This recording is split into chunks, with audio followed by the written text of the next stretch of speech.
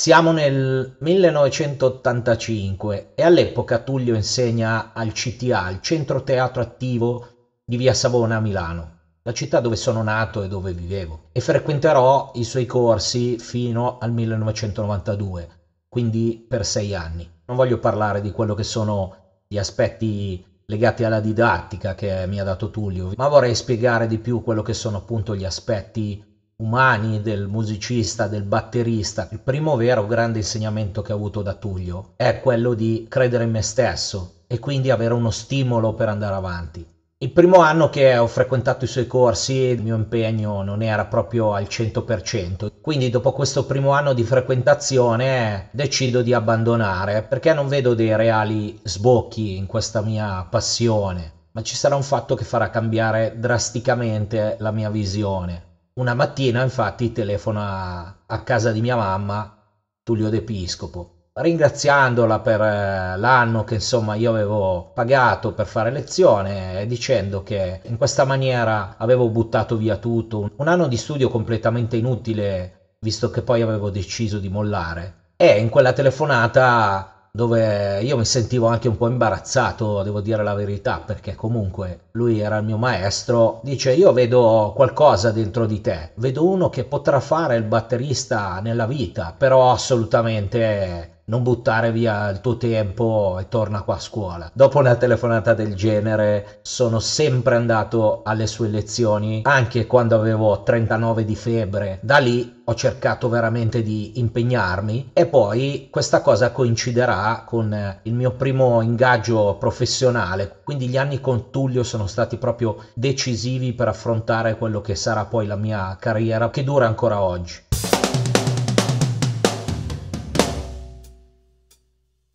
In assoluto quindi la cosa che mi ha colpito di più è la sua innata generosità. Tenete conto che quello è il periodo top di Tullio, era batterista di Pino Daniele, aveva una carriera immensa, andrà in televisione con Billy Coban, eh, dopo poco lui andrà a Sanremo. Comunque queste informazioni legate alla sua vita le trovate nel suo libro che racconta la sua storia, un'avventura musicale pazzesca, con collaborazioni internazionali, quindi alla fine lui non aveva assolutamente bisogno di allievi. L'ha fatto perché a lui proprio piace trasmettere agli altri. Diciamo un po' come la figura di un vero padre di famiglia, uno che ti guida in un percorso che ti dà un'educazione. Infatti un altro aspetto importante che ho imparato da Tullio è la disciplina lui è molto buono, molto generoso, ma è anche un insegnante molto serio e voleva che fossimo sempre attenti anche alle lezioni degli altri e cercassimo di imparare il più possibile.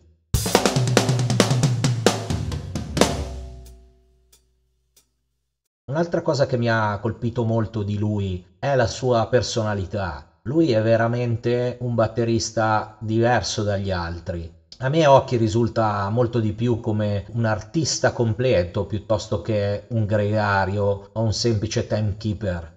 Io parlo spesso di lui con i miei studenti e lo paragono molto a una figura carismatica con grande autorevolezza.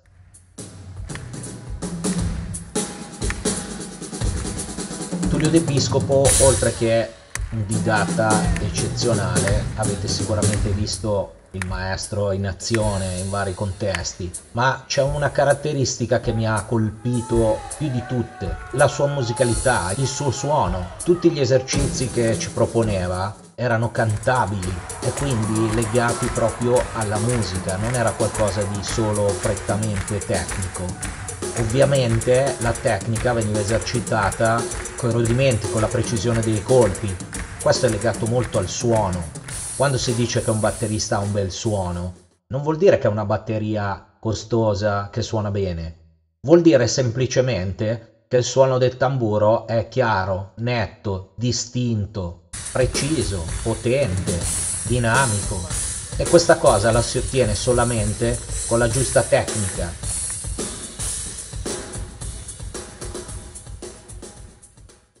Recentemente sono anche stato a casa sua, eh, la sua casa è piena di percussioni da tutte le parti, in particolare mi ha colpito un pad veramente minuscolo. E lui ci suonava sopra come fosse un rullante della banda, con una precisione, un... colpi erano nitidi, erano molto alti, distaccati e da lì si capisce realmente il suo suono da dove viene. Viene dalle sue mani. Questa caratteristica del suono di Tullio io l'ho vista anche in un importante concerto nel quale Tullio si è esibito assieme a decine di bravissimi batteristi, ma quando Tullio è salito sulla batteria che avevano usato tutti, ha immediatamente cambiato suono, sembra quello di un disco perché il controllo che ha è davvero qualcosa di eccezionale. Lui ha veramente un modo molto personale di suonare, fa cose che gli altri non fanno. È uno di quelli che quando suona lo riconosci e non è necessario vederlo, basta ascoltarlo. Sono voluti diversi anni per capire realmente lo spessore musicale del mio maestro.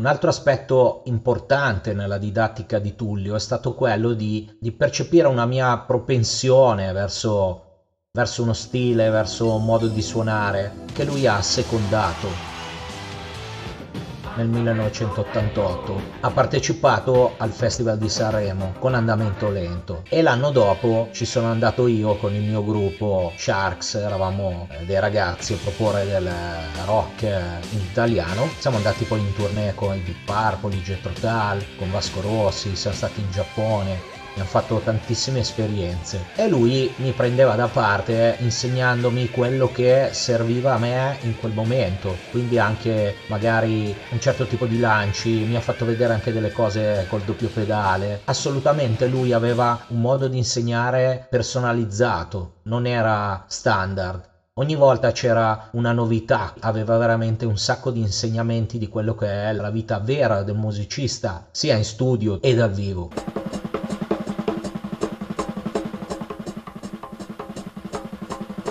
L'ultimo aspetto che mi viene in mente accostato alla figura di Tullio è il jazz. Lui è riuscito a farmi apprezzare quel tipo di musica con molta delicatezza, non ha mai spinto verso un certo modo di suonare, quindi abbiamo iniziato una serie di esercizi sull'indipendenza jazz che poi ho trasportato anche in altri generi. E quindi la possibilità di esprimermi meglio a me è rimasta sempre la sua voce nelle orecchie che mi diceva di continuare, di andare avanti, che comunque lui aveva visto qualcosa in me e che avrei probabilmente potuto fare il batterista, come poi è successo veramente.